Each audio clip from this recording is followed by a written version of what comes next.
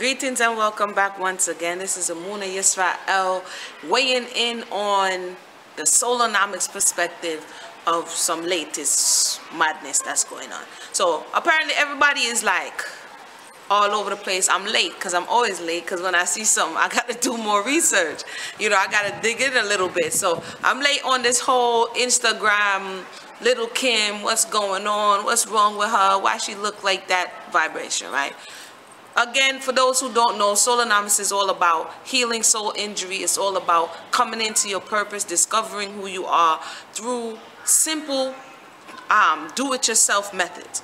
And so I wanted to learn a little bit. It's been years. I haven't listened to this stuff from, you know, for over 20 years now. I really, I really don't get down like that. So I had to go back and listen to when she first started, listen to some old interviews. Um, I watched Driven Behind the Music and hear family members telling the story of little Kim when she was still brown right? So basically, they go into speaking about her family, the fact that her father was the military, her father and mother had a troubled relationship.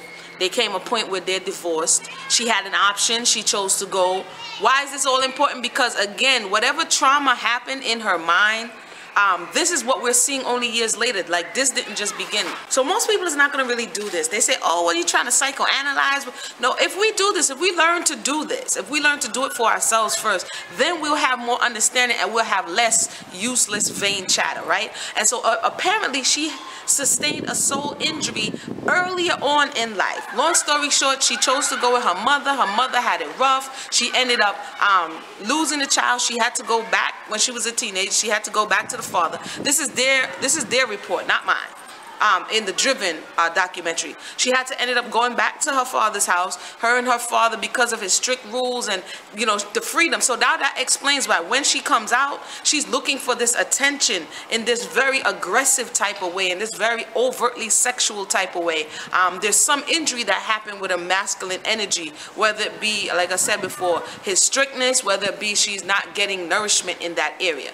So long story short, she leaves her father's house according to their testimony, and she ends up on the street having to hustle, having to do whatever she has to do. And during that time, her mother was like kind of a fashionista. She loved the thought of attention, all eyes on me. Ever since she was young, she gravitated towards music because she had a um, cousin who was into music and this, that, and the third. So this is all that goes into the making. This is the formula. This is what goes into what we're seeing now.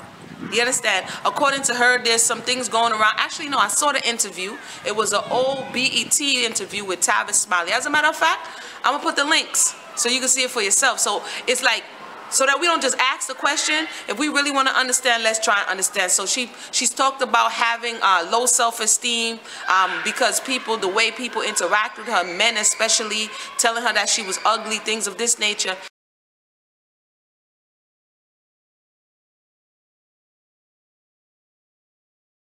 And she said that years ago. I think in the interview she said she was 21 years old. And uh, Luke was also on the panel because at that time in the 90s, this was overtly sexual. It was it was Little Kim is the one who took it to another level. And it wasn't in a good way. You know what I'm saying? It wasn't in a good way. It was progressively getting it, ah, push it and all that stuff. But she took it over. What I found real wild is after she met Biggie, according to her testimony in one of the videos I watched, I can't remember which one at this point, she was like, it was Biggie's idea for the crotch shot.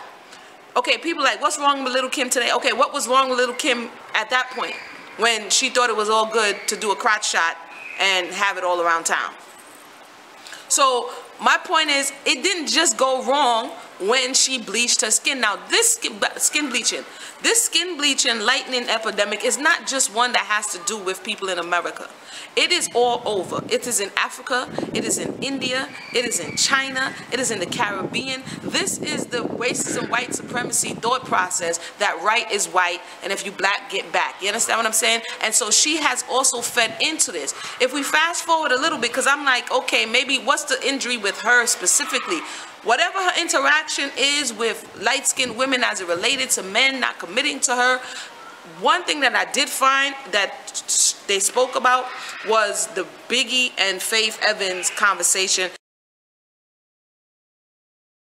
For those who are really young, you're probably not going to know what in the world I'm talking about because this was a while ago, okay, like 20 years going 20 years now. But Faith Evans enters the scene. She's she's um the ride or die B, which I don't like that terminology, but that's for another show. So Kim is the ride or die B, and all of a sudden this light skin, bright, long hair looking half Italian, because I heard an interview with Faith Evans, I didn't know that, she's half Italian. So again, she comes in and in three months, not three months, three weeks, Wallace, Mr. Wallace, Biggie Smalls, marries her. This causes confusion. This causes contention. This is another blow to the ego. Okay, because I'm not white or I don't look like this or my nose doesn't look like this, is this why you don't want me? When everybody's asking what happened to little Kim, I'm saying it happened a long time ago. According to the reports, she was doing it incrementally. She started doing it over 10 years ago, incrementally, whether it be the nose, the face, the lightening of the skin tone. This is the final that we're seeing. Um, so that I'm not saying that's it's, it's not right. The standard of beauty is being measured again by racism and the white supremacy and the thought that slim nose, light skin, straight hair, this is the standard of beauty. And there is an awakening. There's a re-emergence of no, I no longer subscribe to that. I am going to hold on to who I am and celebrate me. And we see that amongst our, our melanated sisters across, it's, it's catching across the globe your head wrap and your, your afros or your locks and all of this thing like this. But she is stuck in, little Kim is stuck in that space and time where, you know, you still need to look like the oppressor. It's not a good thing. It had to deal with her self-esteem and her self-esteem was injured a long, long time ago. Is it an excuse? No, it's the reality. And the truth is, a lot of men, just like in the case of, of Biggie Smalls, Christopher Wallace, a lot of men, it's okay to have a dark skin, a melanated sister when you broke. It's okay for her to go through the trenches with you. And this is not complaining. This is this is some of the realities of what we're seeing. It's okay for her to be in the trenches. But as soon as you get some money, as soon as you're going to transition, you need also to transition in color or transition with someone of another persuasion. This is a blow to the self-esteem of your sisters, of your daughters, of your mothers. And a lot of people say, oh, this is, no, it is what it is. So again, I just wanted to give you my thoughts, Soulonomics um, perspective that uh, she had some other things going on. All, a whole lot of things it seems like just piled up. If you have to live a life, say you, say you made an image for yourself, being this lewd, forward, uh, you know, over-sexualized individual. How do you step out of that? How do you say, I no longer be, want to be that when this is what you've made your name on? And there's an example in um, Jamaica, one Jamaican artist named Lady Saw. Everybody knows Lady Saw. Lady Saw is the little Kim of the Caribbean. I think she even goes over the top further than she does. You know, Lady Saw is broke out dance all carrying on and carrying on. Recently, Lady Saw is like, I want to put that down. I don't do that anymore. Everybody's looking at her like, you're not allowed to do that. you understand what I'm saying? And still eat. You're not allowed to do that and still, you know, what are you going to rhyme about now? So we have to understand that um, this supersedes the entertainment industry, but is very present in the entertainment industry. It's very dangerous. Some of these skin bleaching things that people are using, it is cancer, carcinogenic, cancer causing, um, skin eroding uh, type of thing. So it's not only the mind, it's also your body. Uh, so definitely stay away from the ambi. You know what I'm saying? Stop trying to use cake soap to bleach your skin.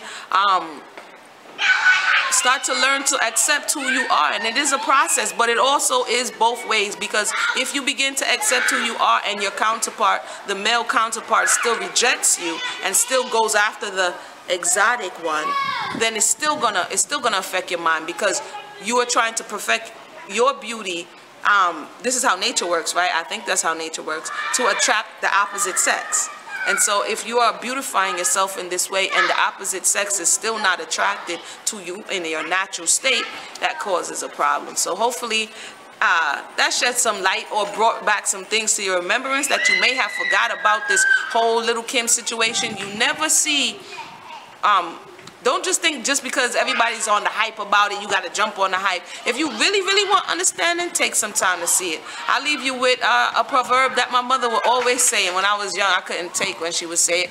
But it's true. She would say, it's, it, uh, let me see, let me say it in English, right? It's not the same day that the leaf drops on the water does it rot. And in Patois, another day leaf drop on water rot. Meaning, just because what we're seeing now, it didn't just happen now. It happened a long time ago. So if you have daughters out there, let's get let's get to now. If you have um, sons out there, because there's some men who's bleaching their skin too. If you have any loved one and you see this behavior start where they begin to idealize something, a beauty that is outside of them, where they no longer see or they have never seen the beauty in them, where you color classify your children. You know what? Before I go, let me just say that. I think Caribbean people have a way of doing it, and I'm not sure if our brothers and sisters here in America does it as well to the degree, but stop color classify your children. Oh, you brownie. Oh, you darky. Oh, you lighty. I know here they'd be like, oh, dark skin, red bone. Stop. Stop. What are we? What are, what are you doing? Making a painting? Listen, they're beautiful for what they are. If you begin to make them overtly color conscious of the, the degree of their pigmentation, unless you're trying to run some science experiment, it's really not that necessary. And what you do is cause an injury within the mind to say, they're going to look to say, okay, this person looks like this and they get better treatment, and I look like this and I get lesser treatment. We need to start to detox this master's voice because that's the master's voice. When you would run away and your four parents would run away, when he goes to the printing office to put in that report of the advertisement, he'll be like, light mulatto, curly hair, certain disposition. He's describing your stats. This is what he would use to classify you. This is what they would use to classify you. And you're still using it to classify yourself. You understand what I'm saying? So please, when you have the young ones growing up, I have children, they're different hues. I don't make it a deal because it's really not. We're all melanated. You understand? They will notice, oh, wow, you know, you're a little bit. But it's not something, because my parents, when I grew up, we didn't have that. But I also, in an extended family, we do have that. Them lighty, them darky, What's that? What's that?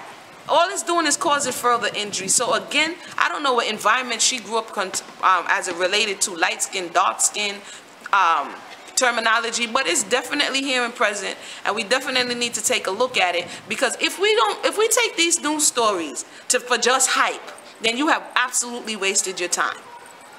But if you could take these news stories as warnings, as what to look out for, as telltale signs, so that you can turn around in your actual environment where you actually have a voice and it actually matters and say, you know what? Oh man, I see danger coming. You know what? You may tap a mother on the, the thing and say, look, don't do that.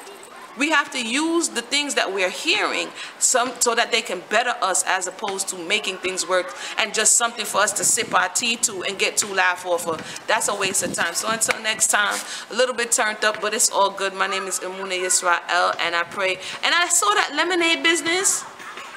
That might have to be another video because, yeah, no skin bleaching. Say no to skin bleaching.